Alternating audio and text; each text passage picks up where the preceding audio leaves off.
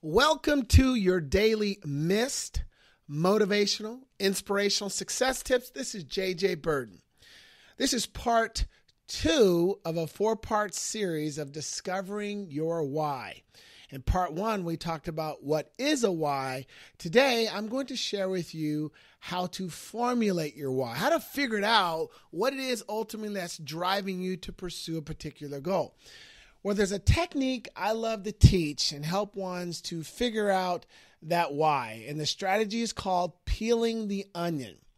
We know an onion has multiple layers to get to the core. You got to keep peeling those layers to get to that core. And that's the same thing you want to do when you're trying to help someone figure out what their why is.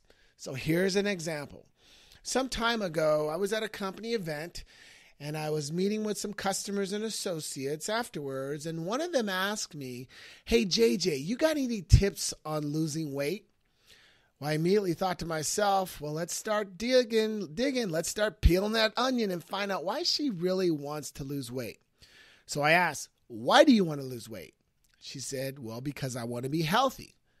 Why do you want to be healthy? She said, Because I want to be able to get on the ground and play with my daughter because I can't do that right now. I asked, Well, why do you want to do that? Then she said, Well, to be honest, I want to be around. What are you talking about?